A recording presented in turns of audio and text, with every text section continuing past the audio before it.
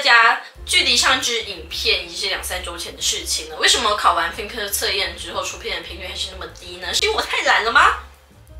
是对的，对不起。但是至少我们今天这支影片要来解答很多人好奇的一些问题。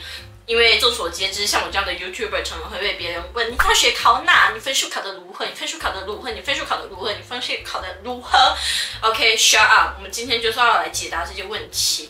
那众所皆知，就算是在同一所学校里面，就算是在我的母校，那每个人的成绩也是非常多样化的，满分。顶标还有令人失望，但今天这支影片的重点不在于要如何提高各位的成绩，主要是我可以非常轻易的想象到，当我在说出 “Hello，大家，我们今天要如何得到一百分”叭叭叭的时候，我可以想象出平常知道我成绩的导师或者是老台大一啊之类的学生，看到这支影片，然后听到我那么不自量力的说出这些话的时候，摆出一副看看你这小妞可以说是怎样的话。我可以非常轻易的想象出这些画面，好吗？所以，我们今天这支影片没有任何的教学意义，就是用来满足你们丑恶的好奇心，还有浪费你们人生中的几分钟这样子。耶，签到结束，开始。我自己觉得，一个考生的生活日程会有一部分受到时代背景影响，像是花三十个小时准备学习历程，不是备审，然后发现那些一点用都没有。但是大部分还是蛮像的，像是刷题。复习还有骂教育体制，像我个人的话，我是在。发出文化币的那支影片之后，才开始进入全心全意准备分科的阶段。在那个阶段，我觉得有一个诀窍，就是你要想象自己进入一款 RPG 游戏里面，但是不是玩家，不是主角，不是最先去那个，你要把自己带入旁边某个生活看起来最无趣的 NPC，就像是在书店里，然后留着深色长发，戴着细框的圆眼镜，然后坐在木椅上，整天除了看起来在上面读个十二个小时书以外，没有事情可以做的那种。无聊的 NPC 人物，但是我们都知道我们之间的差别就是我们都没有 NPC 的角色长那么好看，但是有很多共同点，像是对话主要由他人触发为主，要不然就是当我们有求于人的时候会发生，像是丁同学请求您的协助，你可以帮我看一下这一题吗？对，第四题，第二小题我不会算，你可以帮我看一下吗？谢谢。就是通常是这样的对话，然后也常常发生重复的对话。基础款像是没大学了，完蛋了怎么办？但是这些话就是听听就好，听听就好。我身边这样讲的人全部都上顶大了。我知道有些人觉得听优秀的人讲这些话好像有点烦，我也这么觉得。但就是因为我分为两个自我，一个是比较野蛮的自我，一个是比较理性的自我。就比较不理性的那部分，我就像是，你知道吗？这门条超难哎，我数学 没救了啊，对不对？你也这样觉得？啊，你考怎样？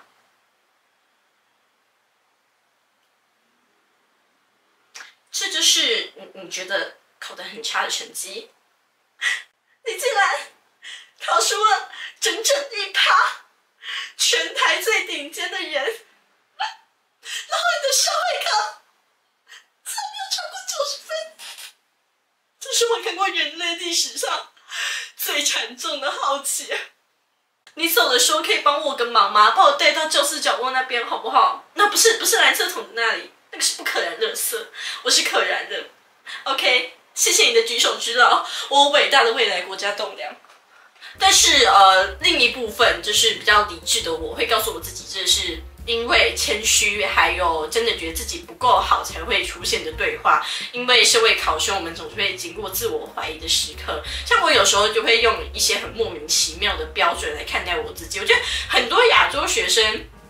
都会用很莫名其妙的标准来看待自己，就像是无论你七岁的时候的成绩怎么样，考的是什么分数，你都要在未来的学生生涯拼死的维持或者是追赶当年的那个分数水准，就是一整个就是大不合理。但是那个标准其实准确来说也不能算是我定的，是我脑中的自我批评小妖精定的。我们每个人都有这样子的一个自我批评小妖精，就是我们人生中维持最长久的一段关系。他平常就。就居住在我们脑中阴暗潮湿的某个小角落，长得有点像多比，大概这样，扣楼的样子，长得有点像多比，但只是长得比较老，然后比较丑，然后比较刻薄，会在你说哦，我觉得我还不，你觉得你还不错，你要不要看看温馨？你父母双亡，他阿妈嗑药，还有过动症，他靠着超商饭团学会了整个高中的化学，然后牛奶和造一上火箭飞上月球，你觉得你很棒？How dare you？呃，但是随着你的心智逐渐的成熟，它出现的频率会渐渐下降啦，或者是到了一个你有点忘记它存在的程度。但是在压力特别大的时候，或者是你心灵比较脆弱的时候，它还会跑出来，然后数落人啊，小女孩做了一个蛋糕，是不是？吃起来像廉价和平庸。我从早上八点钟醉到现在，但是我还是可以清晰的辨认出你是一个废物。我要走了，拜拜，肚子。然后我的理智就有有点像是一个凌晨一点在加护病房工作倦怠，然后很累的一个工作人员出来帮我做产妇。嗯，那心理智商要吗？不用，好。OK，李小姐，等一下叫号之后往前走，右转去冰箱那边领取一个巧克力棒，吃完之后比较好，之后坐着休息一下，然后去睡个一晚好觉。那结束之后，如果还有不舒服的话，再叫我，拜拜。但是你知道，当我在树海里挣扎的时候，最让我感到开心的是什么？你知道吗？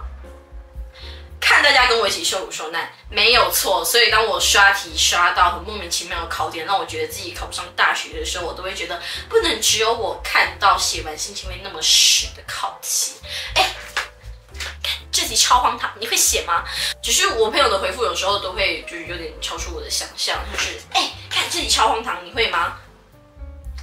啊，哦，对，好，这题我知道啊，嗯，巴克里有三百八十根胡须。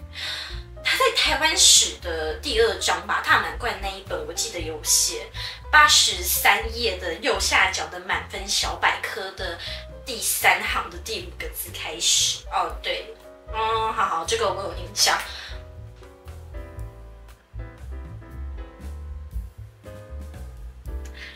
但是你知道吗？就是虽然我知道我说的是一个问句，可是那其实不是我的意思。我只是想要听见我的想法从另外一个人的嘴巴里面被讲出来，然后让我获取一种我没有写作业，然后你好像也没有写作业的那种安全感。只是有时候结局变成我被满分小女王们用现实啪啪打脸，然后只能摸摸鼻子，乖乖回去重读一次我的讲义，然后认清自己的不足。接下来谈谈具体的读书计划的安排，大致上分成两个阶段，一个是半工半读期，一个是冲刺期。半工半读期就是顾名思义，要一边顾课业，还要一边顾频道。那我不得不说，你要当一个网红，同时又要当一个考生，是一件还蛮麻烦又有点心理负担的事情。然后可能会有人觉得说，你三周才出一支影片，工作量可能就不大，而且你是对的哦。只是有时候我打开留言区，都会收到非常多的关怀，但问题在于就是关怀有点。多了，你知道吗？我问你谢谢，但是关怀有点多了，感觉有点像是忽然间被七万个父母领养一样。因为这些留言里面，我总是可以看到在关心我课业发展如何的言论，这之外对于考成日期一点概念都没有，这一点也非常像我的家人们。上次我姐问我什么时候要考模拟考，然后我回答我已经毕业一周了，姐姐。嗯。呃，但是我知道不是每个人都会有一个概念在，所以跟你们讲，如果是学测或者分科上大学的话，放榜的日期都会是在五六月之后，所以你就知道那一些在三月就一直问我考上什么大学的人，其实有点像是在逼问一个三岁的婴儿他未来的职业会是什么样。我不知道你们想要我怎么回答，你知道吗？啊，嗯，我会上霍格华兹，因为我是女巫，然后我会预知未来。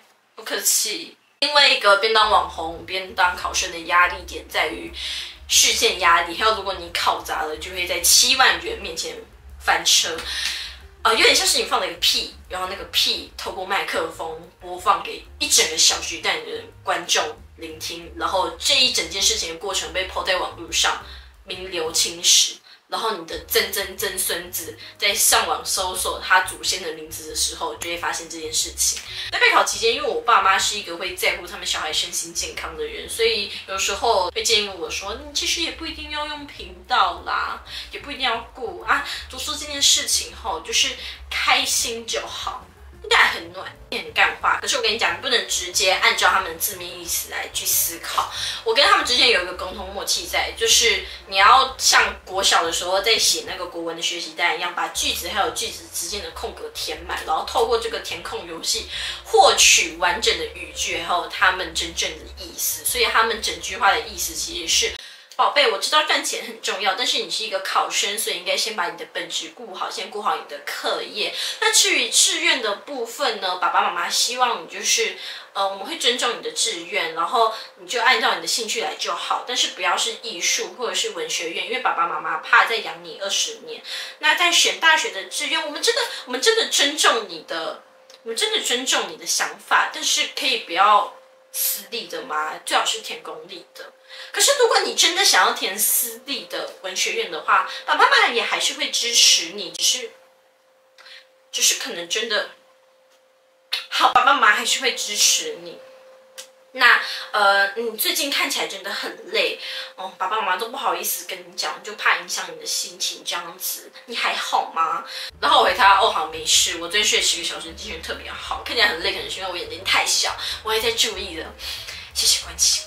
真的，我备考期间大概有三四个人问过我，你是不是很累，或是你是不是很想睡？但其实那个时候都只是可能我眼睛真的不够开之类的。我其实精神好的要命，但也不怪他们，你知道吗？因为我很累的时候看起来长这样，然后平常的状况看起来像这样，基本上没有差别。但是我必须说，用这种方式来告诉我这个令人悲伤的事实，真的是一件很残酷的事情。好，我们现在来聊聊冲刺期的。读书计划的安排，基本上考前一周倒数第四周的时候，我还在当工作狗，然后可能会刷题这样子。二三周的时候狂算数学，然后最后一周开始恶补我的社会，还有刷考古题。大致流程是六七点的时候起床，八点多的时候开始读书。假日的话是九点多开始，然后晚上八九点回家。基本上我会在十二点以前睡着，然后我好像基本上没有什么休息日这个概念。我的休息日就是用来赶我的工作进度，或者是就是没有休息日。因为在这个情境之下，有些人可能会觉得压力好大，我要休息一下。但是呢，我的情况是。就是休息时间三个小时，我可以算两本题本呢，我浪费了好多时间呐，我就会觉得非常的紧张，我一点都没有休息到，所以休息日这个东西太好了，我不值得，你知道吗？至少在那个情境之下是的。但是我每天晚上会有快乐魔幻一个小时，用来让我耍废，还有刷网漫或者是看一些剧之类的，然后看完之后就会。回到我美丽的床上，然后隔天开启一模一样一天。特别推荐这个生活模式给就是命不久矣，或者是觉得自己时间太少的人，用这个方式度过一个月，相当于体感上的一世纪吧。尤其在更靠近考试日期的时候更是如此。我每次都是差不多的心情，怎么还有十天？怎么还有十天？然后我跟我的同学有约，我们大概从考前一百天吗？反正就是至至少考前五十天开始，我们就不会在休息时间以外的时候划手机。啊，这个原因我们非常认真执行这个计划哦，但是这个原因不是因为我们特别自律还是怎样，是因为我们都不想给对方钱。为了五百块，我们两个都非常愿意当一个失去现代文明的书虫。把话说回数学，我说过我花蛮多时间在补救跟算数学的，一天大概我会尽量维持在五个小时以上。然后我那段时间就冲刺前那段时间，我常常会问自己，为什么要花那么多时间算数学呢？直到。成绩公布的那一刻，我看着成绩，我又再问自己一次：我为什么要花那么多时间算数学？我觉得最荒唐的就是不知为何，我投资在那些科目上的时间，跟我最后得到的科目的成绩完全成反比。我跟你讲，你要听我的分析。地理，我从学测前两个月读过一轮之后，我就再也没有认真的读过那个些东西了。就是可能有刷题，可是不会把讲义整个拿出来读。公民也是差不多，只是那个什么考前一周的时候，临时抱佛脚有读的比较多一点。然后这两个都是五十九积分。历史我花最多时间的。社会科目五十六积分，数学花了我最多心力，大概八十趴以上的时间都在搞那些东西。粗估我考前写完的有六十天周计划，十四本补习班的讲义，然后大概十份的考古题，然后还不算平常课堂上写的那些考题之类的，还有十五则做骂数学的线动。最后出来的成绩烂跟屎一样。你现在心中默念一个分数，想好了吗？然后再把它往下扣二十分，那就是我的成绩。因为我也不打算告诉你们我究竟考了多少。那其实还有社会考得好是一件好事，只是我真的觉得非常五味杂陈，感觉就像是你的每任情人离开你之后都飞黄腾达了一样。而且如果那些科目是人的话，你真的会怀疑自己是不是病原体，你知道吗？因为就是每个你远离的越远的对象，他们都发展的越好。不过这也证明考前一周恶补数学的短期记忆非常的有用，这可能是本期影片我最认真给的一个建议吧。就是如果你真是要在有限的时间内冲刺的话，我觉得你就是考前再把那个社会全部死记硬背、临时抱佛脚抱起来这样子，因为我觉得社会真的是短期记忆用起来最有用的一个科目。然后至于数甲的具体分数哈，如果还是有人一直逼问我的话，那我可能会告诉你吧。还有我的住家地址，还有我的身份证字号，还有我的银行账面，因为很明显就是觉得自从我十六岁把我的生活拍给一群陌生人看之后，我就已经出卖我的灵魂还有我的隐私给这一个网络世界了。